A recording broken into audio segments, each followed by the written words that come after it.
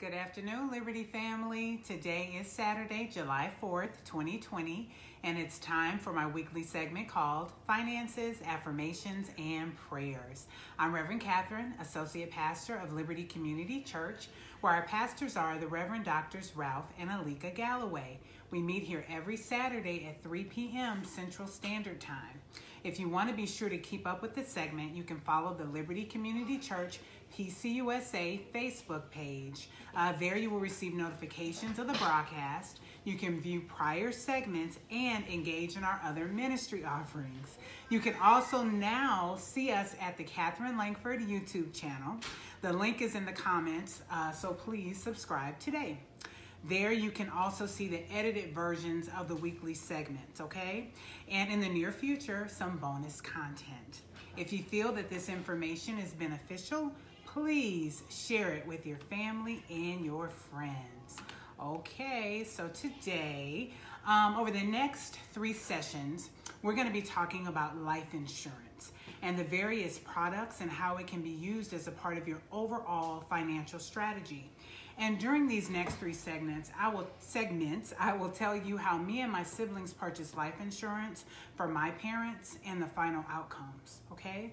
So first let's review our scripture text today. It's a scripture that we've used in the past, and it's found in Genesis 41, 25 through 32. And it's really a foundational scripture for all aspects of financial literacy, okay? So it says, Then Joseph said to Pharaoh, The dreams of Pharaoh are one and the same. God has revealed to Pharaoh what he is about to do. The seven good cows are seven years, and the seven good heads of grain are seven years. It is one and the same dream. The seven lean cows came up afterwards are seven years, and so are the seven worthless heads of grain scorched by the east wind. They are seven years of famine. It is just as uh, just as I said to Pharaoh, God has shown Pharaoh what he is about to do. Seven years of great abundance are coming throughout the land of Egypt, but seven years of famine will follow them. Then all of the abundance will, of Egypt will be forgotten, and the famine will ravage the land. The abundance in the land will not be remembered because the famine that follows it was so severe. And so we've read that uh, scripture passage before, and the reason I think that it's uh, foundational is because it talks about preparing for the future, right? And so um, it's something that talks about us saving and taking care of our business while we have the means so that when we get to a time where we may not have the means, we can still be okay. All right? So let's talk about life insurance. For many, this is a difficult discussion to have. Most people don't want to think about when they're going to die, right? So, but an unplanned death can be a catastrophic financial event in many families, especially if the primary breadwinner of the family dies. We've said many times in our segments that we're no longer going to have our heads in the sand about our finances and so a discussion about life insurance is no different, okay? So I've talked to people about life insurance before. I used to have a license to sell, I don't anymore. But some of the questions that they would ask me are, well, why is that even really important? Um, I think that that's just a waste of money. Um, and they would ask me, like, is the insurance market, is that a racket? Uh, or why do I need life insurance? Someone asked me this, why do I need life insurance if I'm dead? Um, and then they ask questions about its affordability.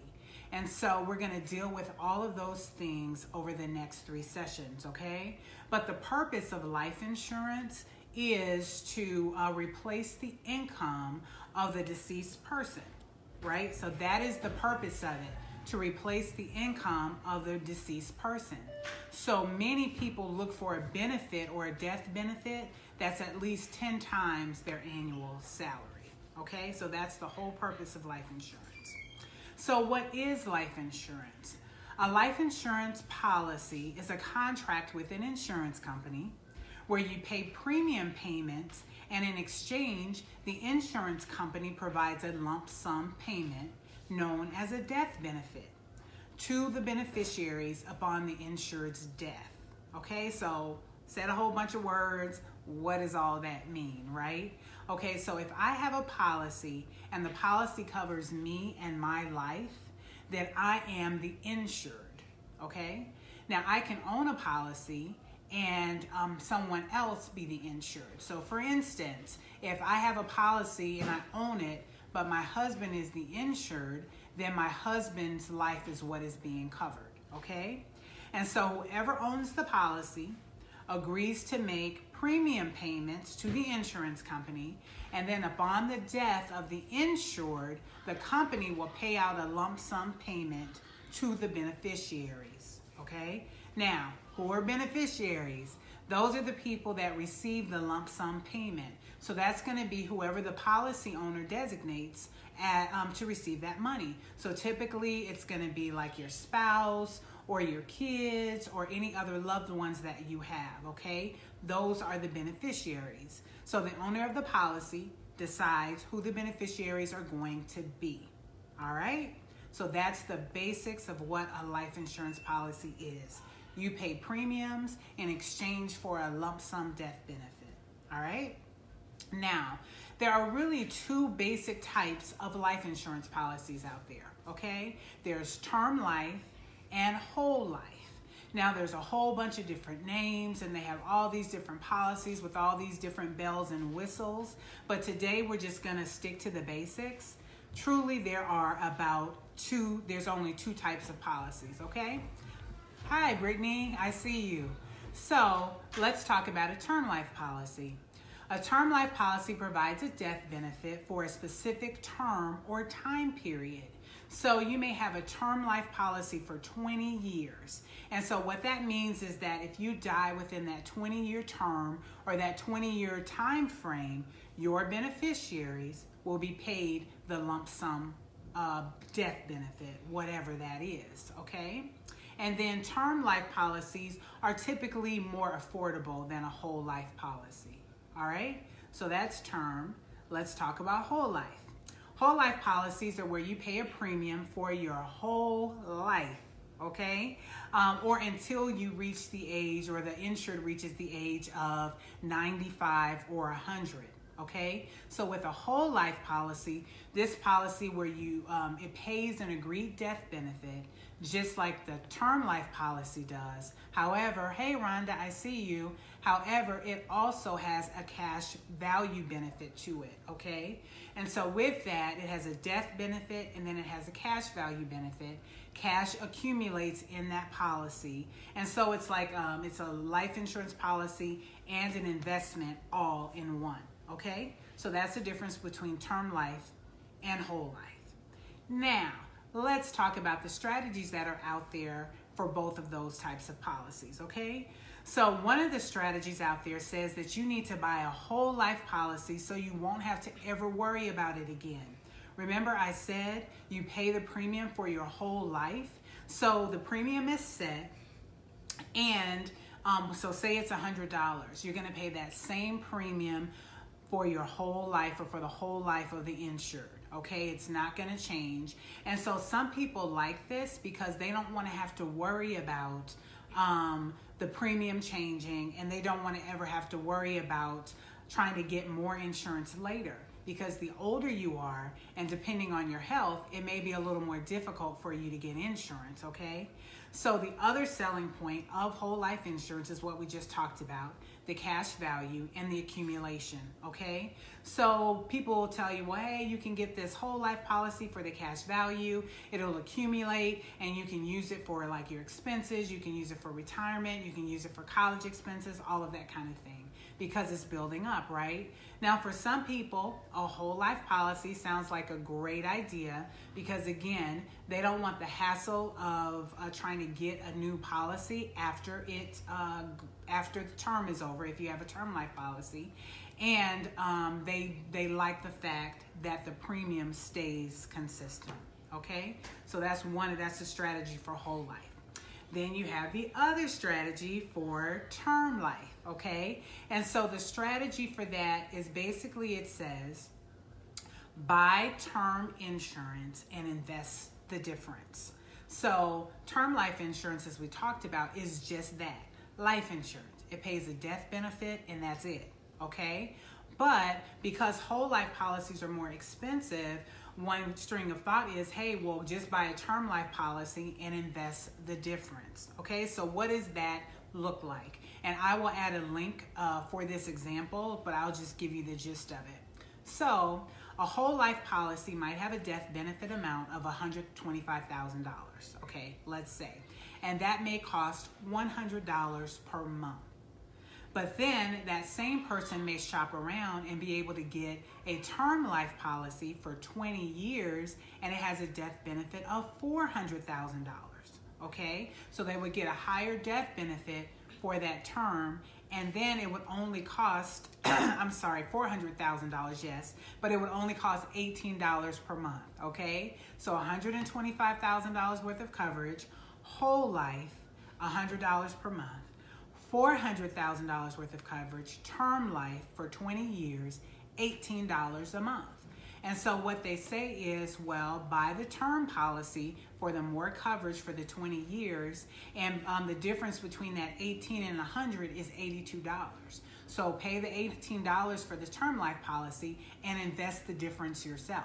Okay, so you put that same 60, I'm sorry, $82 in an investment vehicle um, that you're aware of that, you know, typically in the market, um, you can earn about 10% um, interest uh, or return on your investment. And remember, several times ago, we talked about the rule of 72 and, and how quickly your money doubles. So the same thing would apply. You would put that $82 in. And if you go, if you look at it and it's um, making 10% interest over the 20 years, um, by that time that 20 years is up, you would have $62,000. So that's not too bad, okay? So you pay that $18, invested the 82, and now at the end of that 20 year term, you have $62,000.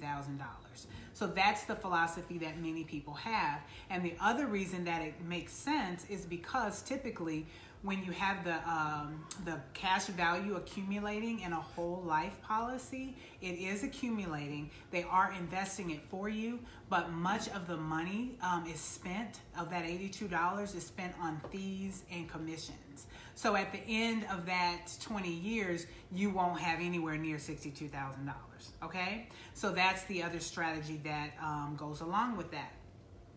The other piece, though, of this strategy when you're talking about uh, term life policies and buying term and investing the difference is you have to be diligent, right? You have to be intentional and, and diligent about investing that other $82. Because if you don't invest it, then you're not having the cash accumulation, right?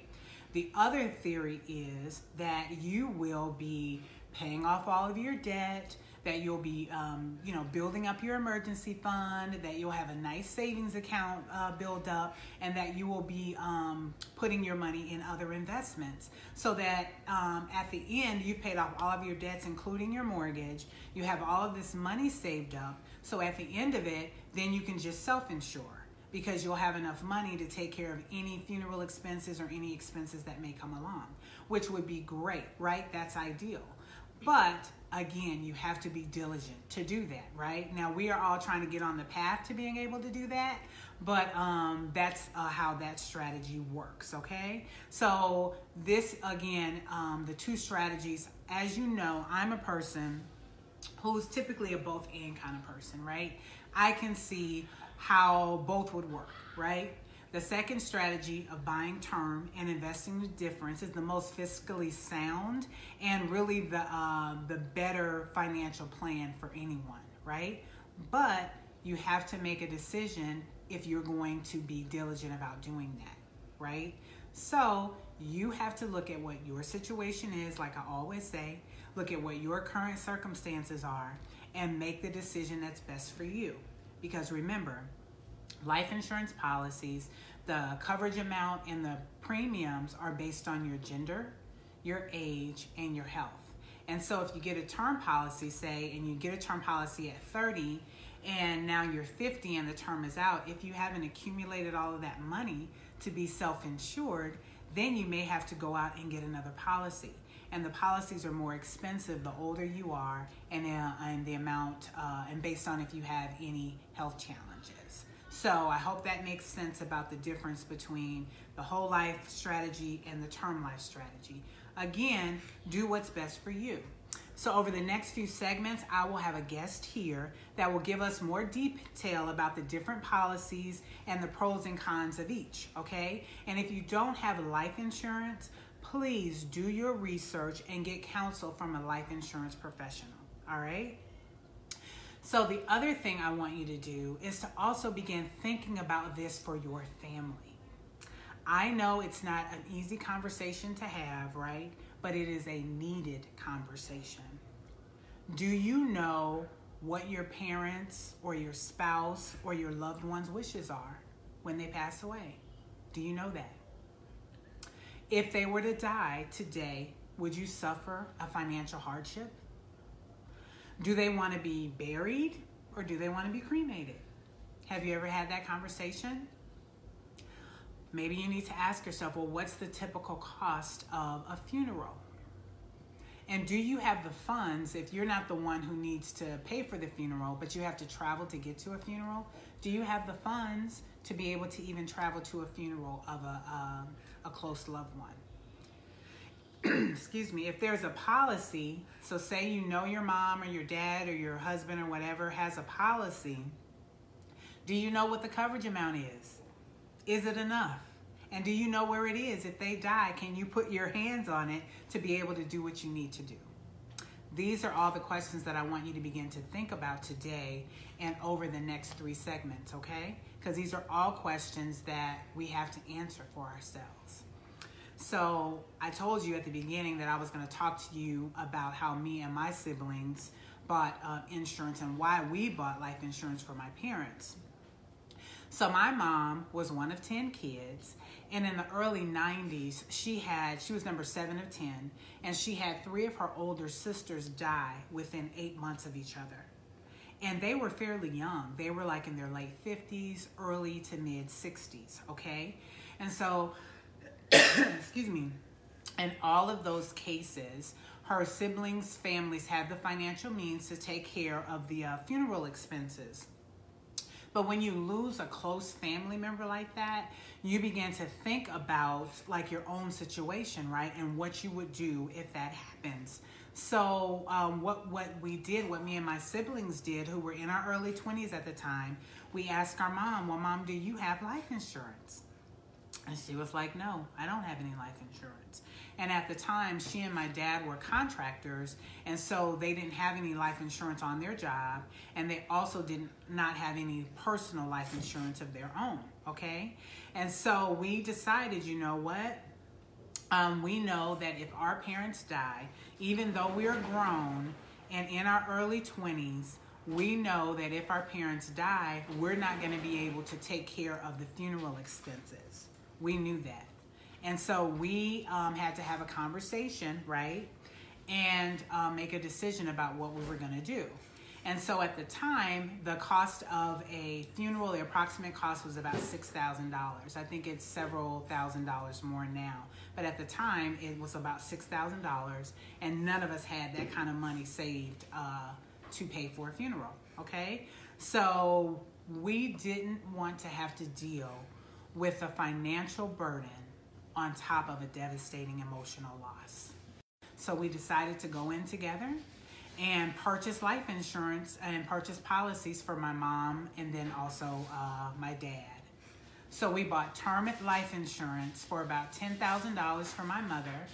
And then shortly after that, we bought $15,000 worth of coverage for my dad, okay? And so I remember uh, we paid the policy quarterly and so every quarter, I would reach out to them and I would say, hey, I need your premiums for mom and dad's policy. And so that's what we did. And and we, like I said, we were young, just out of college, um, just starting our careers. And sometimes it was hard to come up with that premium um, for us. And I can laugh, I can laugh now but it was really something that was difficult for us. I'm sorry, life is going on around me, so there, there's a lot of noise in the background. My husband is choosing to make quite a bit of noise right now. Okay, so um, again, it was a it was a struggle, um, but we knew that it was the right thing to do. Okay, because we didn't want on top of everything else, on top of an emotional loss, to also have a financial loss. So what I want um, for you to do, and I'll tell you the remainder of that story and the outcomes over the next two sessions, okay? But what I would like for you to do is to take some time to think about what would you do if you lost a significant other suddenly? Are you covered or would you struggle? What can you do now to get yourself in a position so that it would not have to be a struggle for you? Okay? So, those are the questions that I would like for you to begin to ask yourself. All right. Well, that's the uh, financial portion of for today. So, we're going to go ahead and go into our affirmations, okay? But again, we're going to go over it over the next two weeks. We'll have a guest who um, sells insurance, and so they'll be able to give you some more information about the different kinds and some suggestions about, about what you should get. And I'll finish the story about what happened with my brother and my sister and the policies that we had for my parents, okay? All right. So let's go ahead and go into our affirmations. And so let's just take a minute and let's breathe in and release. And let's breathe in and release. So, you know, I love this time of affirmation because I love to affirm the positive things that are going on in our lives. And so, over the last three sessions, what I told you is because typically I give you three affirmations at a time. But this time, I'm giving you, I gave you one affirmation a couple of weeks ago, and I told you we would do that same affirmation for the uh, next three weeks. So this is the third week. And that affirmation simply says, I am worthy. I am worthy. And I've told you guys in the past that that's something that I've struggled with uh, self worth and things of that nature. And so, what worthy means is having worth, having value, or having merit. And so, this is something that you can use to self affirm yourself by saying, I am worthy. Many of us, of us get into situations and circumstances because we struggle in this area, okay? And so, with today being the country's Independence Day, let's celebrate our independence from self doubt. Let's celebrate our independence from not walking or standing in our value and in our personal self. Remember, one of the affirmations that we've gone over in the past says that I walk in liberty and freedom in every aspect of my life. That includes our finances, but it also includes how we think and affirm ourselves. I am worthy. And today, with it being Independence Day, I also want us to celebrate our independence from the lack of financial education and understanding. Let's be fully informed about our personal finances. And even if, and if you haven't already, let's begin on the journey to financial freedom and independence. And that also includes a conversation about life insurance. Okay, well, that's it for our affirmations. So let's go ahead and go into prayer. God, we thank you and we praise you, Lord God, for the bountiful blessings that you've given us.